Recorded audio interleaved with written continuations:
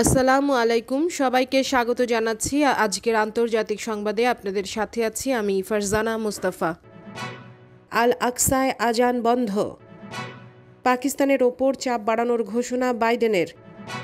ফ্রান্সের নাগরিকদের পাকিস্তান ছাড়ার নির্দেশনা। জো বাইডেনের নীতিতে উদ্বেগে ভারত। ইরানের প্রতিশোধের আশঙ্কায় ইসরায়েল। শুরুতেই এশিয়া প্রসঙ্গ। যুক্তরাষ্ট্রের প্রেসিডেন্ট জো বাইডেন আফগানিস্তানে তালেবানদের হুঁশিয়ারি দিয়ে বলেছেন, মার্কিন যুক্তরাষ্ট্র আফগানিস্তান ছেড়ে চলে যাবার পর দেশটির সামগ্রিক পরিস্থিতির জন্য তিনি তালেবানদের দায়ী করবেন। এছাড়া তিনি অন্য দেশগুলোকে, বিশেষ করে পাকিস্তানকে চাপ দিচ্ছেন যাতে মার্কিন সেনারা আফগানিস্তান ছেড়ে চলে যাবার পর দেশটির স্থিতিশীলতায় তারা কার্যকর ভূমিকা পালন করে। এক বক্তব্যে বাইডেন এসব কথা বলেন। বাইডেন তার ভাষণে এগারো সেপ্টেম্বরের আগে আফগানিস্তান থেকে মার্কিন সেনা প্রত্যাহারের বিষয়ে ঘোষণা দিয়ে বলেন, আমরা তালেবানকে অভিযুক্ত করব তাদের প্রতিশ্রুতি পালন করার ব্যাপারে। তালেবান প্রতিশ্রুতি দিয়েছে যে আফগানিস্তানের মাটিতে তারা এমন কোনো সন্ত্রাসীদের আশ্রয় দেবে না, যারা মার্কিন যুক্তরাষ্ট্র ও তাদের মিত্রদের বিরুদ্ধে হুমকি স্বরূপ। আফগান সরকারও আমাদেরকে একই ধরনের প্রতিশ্রুতি দিয়েছিল। তিনি আরও বলেন, আমরা এই অঞ্চলের অন্যান্য দেশগুলোকে, বিশেষ করে পাকিস্তান, রাশিয়া, চীন, ভারত ও তুরস্ককে বলব যে আপনারা আফগানিস্তানকে সাহায্য করুন। ইরানের নাম উল্লেখ না করে বাইডেন বলেন, এই অঞ্চলের দেশগুলোর গুরুত্বপূর্ণ ভূমিকা আছে, আফগানিস্তানের ভবিষ্যৎ স্থিতিশীলতা আনয়নে এর আগে মার্কিন পররাষ্ট্র সচিব অ্যান্টনি জে ব্লিংকেনের সাথে ফোনালাপে পাকিস্তানের সেনাপ্রধান জেনারেল কামার জাভেদ বাজুয়া বলেন, পাকিস্তান সবসময় আফগানদের মাধ্যমে পরিচালিত ও নিয়ন্ত্রিত শান্তি আলোচনাকে সমর্থন করে। এই শান্তি আলোচনা আফগানিস্তানের সংশ্লিষ্ট সকল পক্ষের সম্মতিক্রমে হতে হবে। পাকিস্তানের আন্তঃবাহিনী জনসংযোগের সংবাদ বিজ্ঞপ্তিতে বলা হয়েছে, এই আলোচনার সময়ে পারস্পরিক স্বার্থ, আঞ্চলিক নিরাপত্তা, আফগান শান্তি প্রক্রিয়া ও দ্বিপাক্ষিক সহযোগিতার সাথে সংশ্লিষ্ট বিভিন্ন বিষয় নিয়ে কথা হয়। এ সময় মার্কিন যুক্তরাষ্ট্রের এই অঞ্চলে শান্তি ও স্থিতিশীলতা আনয়নে পাকিস্তানের অব্যাহত চেষ্টার কথা শ্রদ্ধার সাথে স্বীকার করে। এছাড়া দুই দেশের সম্পর্ক আরও এগিয়ে নিয়ে যাওয়ার প্রতিশ্রুতি ব্যক্ত করা হয়। অন্যদিকে আফগানিস্তান থেকে নাইন ইলেভেন অর্থাৎ এগারো সেপ্টেম্বরের আগেই বাকি সেনা প্রত্যাহার করবেন বলে জানিয়েছেন মার্কিন প্রেসিডেন্ট জো বাইডেন। এই সিদ্ধান্তের সাথে নিজেদের নিরাপত্তাও সংযুক্ত বলে মনে করছে ভারত।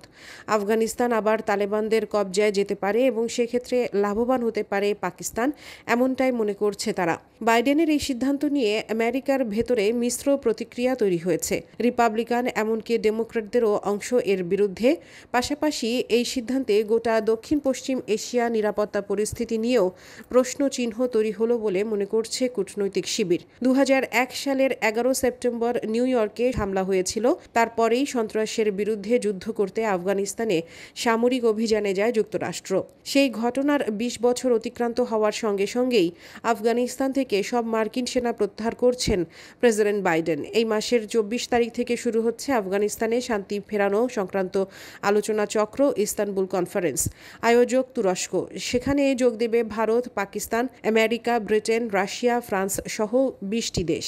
কূটনৈতিক সূত্রের মতে, বাইডেন সরকারের নতুন কাবুল নীতি নিয়ে পররাষ্ট্রমন্ত্রী এস জয়শঙ্করের সঙ্গে ইতিমধ্যেই দুই দফা কথা হয়েছে আমেরিকা প্রতিনিধিদের। প্রথমে সে দেশের আফগানিস্তান সংক্রান্ত বিশেষ দূত জালমেই খালিলজাদ এবং তারপর আমেরিকার প্রতিরক্ষা সচিব লয়েড অস্টিন এর সঙ্গে বিস্তারিত আলোচনা হয়েছে তার। কাবুল সমস্যার আশু সমাধান যে বাইডেন চাইছেন, সে ব্যাপারে স্পষ্ট ইঙ্গিত ওয়াশিংটন থেকে তখনই পাওয়া গিয়েছিল। তবে তালেবান নেতৃত্বের হামলা বন্ধের প্রতিশ্রুতি যতক্ষণ না বাস্তবে দেখা যাবে, সম্পূর্ণ সেনা প্রত্যাহার না করাই বিবেচকদের কাজ হবে বলে মনে করে সাউথ ব্লক। ফলে বাইডেনের সেনা সরানোর নীতি ভারতের জন্য স্বস্তিজনক নয়। পাশাপাশি আফগান শান্তি প্রক্রিয়ায় তুরস্ককে সামিল করার কথা ঘোষণা করেছে আমেরিকা, যাতে ঘোর আপত্তি রয়েছে ভারতের। সম্প্রতি আন্তর্জাতিক মঞ্চগুলোতে তুরস্ক এবং পাকিস্তানের অক্ষ ভারতের বিরুদ্ধে কার্যত ঝাঁপিয়ে পড়েছে। কাশ্মীর থেকে তিনশো সত্তর প্রত্যাহার করার পর তুরস্ক এবং পাকিস্তান ধারাবাহিকভাবে জাতিসংঘের নিরাপত্তা পরিষদে ভারত বিরোধী বক্তৃতা দিয়ে গিয়েছে। ফলে আপাতত সতর্কতার সঙ্গে পরিস্থিতির দিকে নজর রাখছে দিল্লি। এদিকে পাকিস্তান থেকে ফ্রান্সের দূতাবাসের অপসারণ ও ফ্রান্স থেকে পাকিস্তানের কূটনীতিক মিশন সরিয়ে আনার দাবিতে উগ্র রক্ষণশীল দলের সহিংস প্রতিবাদের পরিপ্রেক্ষিতে ফ্রান্স দেশটিতে অবস্থান অবস্থানরত সকল ফরাসি নাগরিককে সাময়িকভাবে পাকিস্তান ছেড়ে যাওয়ার নির্দেশনা দিয়েছে। পাকিস্তানে ফ্রান্সের দূতাবাসের বরাত দিয়ে এ খবর জানায় আন্তর্জাতিক সংবাদ মাধ্যম। ইসলাম বিষয়ে ফ্রান্সের প্রেসিডেন্ট ইমানুয়েল ম্যাক্রনের গত বছরের বিতর্কিত মন্তব্যের জেরে পাকিস্তানের রক্ষণশীল তেহরিক ই লাব্বাইক এই দাবি জানিয়ে আসছে। ফ্রান্স দূতাবাসের এক কর্মকর্তা নাম প্রকাশ না করার শর্তে বলেন, পাকিস্তানের বর্তমান অবস্থায় দেশটিতে অবস্থানরত ফরাসি নাগরিক ও কোম্পানিকে সাময়িকভাবে পাকিস্তান ছাড়ার নির্দেশনা দেওয়া হয়েছে। এর আগে বিক্ষোভের পরিপ্রেক্ষিতে পাকিস্তানের স্বরাষ্ট্রমন্ত্রী শেখ রশিদ টিএলপিকে নিষিদ্ধ করার সিদ্ধান্তের কথা জানান। পাকিস্তানের প্রভাবশালী ধর্মীয় নেতা খাদিম হুসাইন রিজভির নেতৃত্বে প্রতিষ্ঠিত টিএলপি গত বছর ফরাসি প্রেসিডেন্ট ইমানুয়েল ম্যাক্রনের ইসলাম বিরোধী বিতর্কিত মন্তব্যের পর থেকে ফরাসি পণ্য বর্জন ও ফরাসি রাষ্ট্রদূতকে বহিষ্কারের দাবি জানিয়ে আসছে। দাবির কথা বিবেচনার আশ্বাসে সরকারের সাথে একটি সমঝোতায় পৌঁছানোর পরও গত নভেম্বরে দলটি রাজধানী ইসলামাবাদের প্রধান মহাসড়কে বৃহৎ অবস্থান কর্মসূচি পালন করে। ফেব্রুয়ারিতে দলটি আবারও বিক্ষোভের হুঁশিয়ারি দিলে সরকার তাদের সাথে আর নতুন করে কোনো চুক্তিতে যায়নি। তবে সরকারের আলোচকরা পদক্ষেপ নেওয়ার বিষয়ে একটি সময়সীমার ব্যাপারে তাদের রাজি করাতে সক্ষম হন। ইসরায়েল প্রসঙ্গ, নাতাঞ্জ পারমাণবিক স্থাপনায় হামলার পর এখন ইরানের সম্ভাব্য প্রতিশোধের আশঙ্কায় রয়েছে ইহুদিবাদী ইসরায়েল। ইসরায়েলি নেতাদের নানা মন্তব্যে তাদের উদ্বেগের বিষয়টি ফুটে উঠেছে। ইসরায়েলের সাবেক প্রধানমন্ত্রী ইহুদ ওলমার ডব্লিউএবিসি রেডিওকে দেয়া এক সাক্ষাৎকারে এই অবৈধ রাষ্ট্রের নিরাপত্তা নিয়ে উদ্বেগ প্রকাশ করেছেন। তিনি নাতাঞ্জ পারমাণবিক স্থাপনায় হামলার দায় স্বীকার না করেই ইরানি নেতাদের প্রতিশোধের হুমকির সমালোচনা করেন।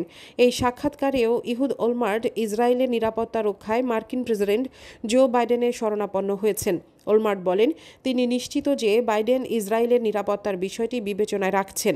ইরানের পরমাণু শক্তি সংস্থার মুখপাত্র বেহরুজ কামালভান্দি রোববার জানান, নাতাঞ্জ ইউরেনিয়াম সমৃদ্ধকরণ কেন্দ্রের বিদ্যুৎ বিতরণ ব্যবস্থার একাংশে গোলযোগ দেখা দিয়েছে। ইরানের পররাষ্ট্র মন্ত্রণালয় মুখপাত্র সৈয়দ খাতিবজাদে বলেছেন, এই নাশকতার জন্য উপযুক্ত সময় ও স্থানে ইসরায়েলের বিরুদ্ধে প্রতিশোধ নেওয়া হবে। তিনি এও বলেছেন যে, নাতাঞ্জে যেসব সেন্ট্রিফিউজ অকেজো হয়েছে, সেগুলো ছিল আই আর ওয়ান মডেলের এখন সেখানে উন্নত সেন্ট্রিফিউজ বসানো হয়েছে। এর আগেও ইরানের নাতাজ পারমাণবিক কেন্দ্রে সাইবার হামলা চালিয়েছিল আমেরিকা ও ইহুদিবাদী ইসরায়েল। অন্যদিকে ফিলিস্তিনের জেরুজালেমে পবিত্র মসজিদ আল আকসার মিনারের দরজায় তালা লাগিয়ে দিয়েছে ইহুদিবাদী ইসরায়েলের পুলিশ। এ ঘটনায় তীব্র নিন্দা জানিয়েছে জর্ডান। রমজানের প্রথম দিনে ইসরায়েল মাইকে আজান দিতে বারণ করে এবং মাইকের তার কেটে দিয়ে যায়। ইসরায়েলি পুলিশ জানায়, আজানের কারণে নাকি ইহুদিদের উপাসনায় বিঘ্ন ঘটছে। তাই মিনার থেকে মাইকে আজান দেয়া যাবে না। জর্ডান পরিচালিত জেরুজালেম ওয়াকফ এবং আল আকসা বিষয়ক বিভাগের কর্মকর্তাদের নানাভাবে ইসরায়েলি পুলিশ হয়রানি করছে বলেও জানা গেছে। জর্ডান পররাষ্ট্র মন্ত্রণালয় মুখপাত্র দাইফুল্লাহ আল ফায়েজ বলেন, ইসরায়েল আন্তর্জাতিক নিয়ম ভেঙে ঐতিহাসিক স্থাপনায় বর্বরতা চালাচ্ছে। এতে গোটা বিশ্বের ধর্মপ্রাণ মুসলমানদের মনে আঘাত ও উস্কানি দিচ্ছে।